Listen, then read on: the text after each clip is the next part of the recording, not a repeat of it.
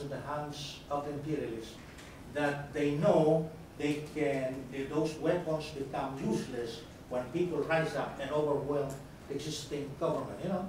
Uh, For instance, the nuclear weapons in the hands of the Soviet uh, leadership uh, did not uh, amount to anything when uh, the people rose up against, uh, against those, um, against the revisionist regime. Thank you. Ty? Yeah, I have uh, two questions. Uh, the first is related to his question. Uh, is there any better policy than, than leo- neoliberal liberal policy? Uh, because we have to, I think we have to accept as, uh, we easy to accept as uh, neoliberal policy is not perfect, but I think there's no uh, other um, policy is, is better than that at this time. So sometimes it's not perfect. It has some some some weakness as you as you point out, but but the world economy still have to, to, to use this thing. You see from the the, uh, the history, uh, neoliberal uh, and then Keynesian and then neo and then Keynesian. Two kind of, of thoughts uh, replace each other to to dominate the, the policy and and then yeah it's so so also related to, to, to his uh, his question is there any is that um, is there any other policy is better than, than that? That is the, the first question.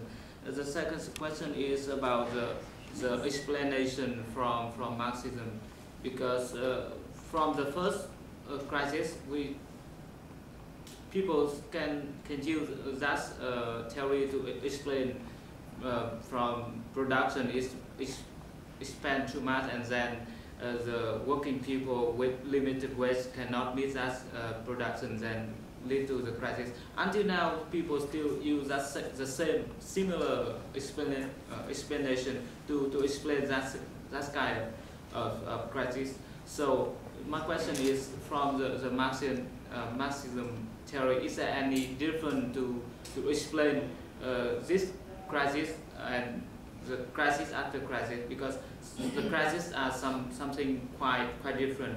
But Marxism use the same I mean the same point to to critique or to point out. So we found that is quite something like a mono monotone. Yeah, that is the second.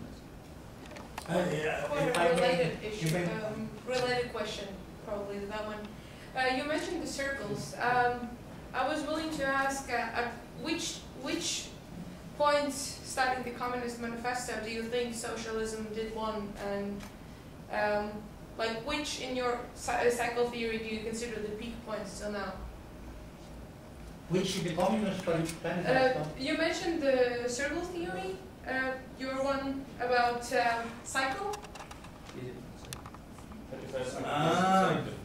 Which ones do you till now, if you say that we're back in a certain point, I would like to know which ones do you consider points when socialism Uh, this is, uh, I, I, I, if I may answer you directly. Um, so I made a study, a presentation of how this, uh, the cycles of 30 to 50 years uh, occurred. No? Um, in 1848, there was a Communist Manifesto. There was well, there were workers' uprisings all over Europe, but uh, those were not even led by communists. No? But uh, then, um, under the guidance of the Communist Manifesto, uh, by 1871, there will be the Paris Commune. Um, um, uh, people belong to the First International would have something to do with the making of the Paris Commune, but that lasted only for two months, no?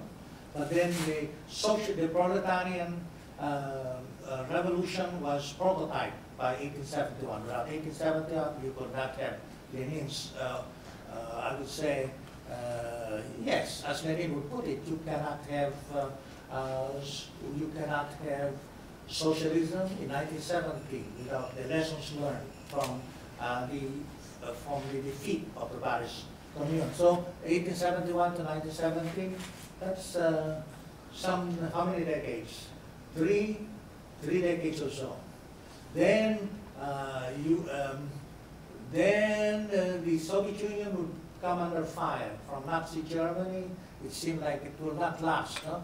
But after World War II, you have, uh, whereas before the claim was one-sixth of the earth uh, uh, was governed by a socialist government. After uh, uh, World War II, you have one-third. Then came the big negative change. At first, the socialism, uh, uh, you have the development of revisionism in the Soviet Union, uh, and then the split going along in the international communist movement. And then I will now answer uh, the first question. Yeah. Because the first question is there really an alternative?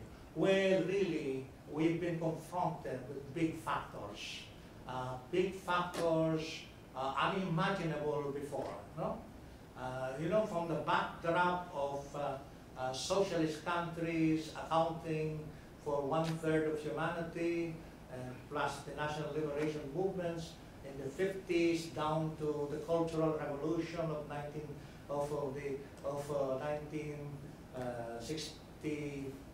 uh, five to 75. Uh, then you have, uh, uh, uh, you know, uh, from the viewpoint of the U.S., uh, both from the eyes of uh, Brzezinski and the power player um, Ki- Ki- uh, Kissinger, huh? Yeah, uh, uh, Brzezinski, Brzezinski knew very well the internals of the Soviet Union, Eastern Europe. He knew, he knew that uh, uh, something was developing for quite some time against uh, against the socialist cause. Capitalist greed was creeping, no? It ranges from, you know, local officials banqueting, giving banquets and birthdays to all their friends, or stealing entire, declaring the products of the entire factories as uh, are as defective, and then bringing the goods to the so-called free market. No? Uh, the mafia, the so what came to be called the mafia in, in Russia, they did not develop only after 1991. Uh, even during the time of of Brezhnev, who was described as the collectivist, centralist, neo-Stalinist, uh, the corruption was going on. No? So they knew. Um, as a daughter of mine uh, living in China said, you know, uh, greed and corruption seems to you know, be uh, uh, to be very lethal opponents of those who, who are for socialism. But anyway, um, you see, uh, as far as the underdeveloped countries were concerned, they were for a certain alternative. It was clear to them. They were calling for a new international economic order. But, you know, uh, uh, many of those proposing uh, the new international economic order, uh, promising industrial development for the backward countries of the third world, um, they were banking on playing on the differences of on the on the competition and conflicts of the of the of what used to be called the socialist bloc? And uh, the capitalist uh, world. But uh, I think by the second half of the 70s, uh, socialism had become already an illusion. Uh, you know, uh, public ownership still existed, but uh, the bureaucrats were stealing everything that was produced in the public sector. No? Everything to say, they, they were. You have already a disempowering of what used to be called socialism, and then the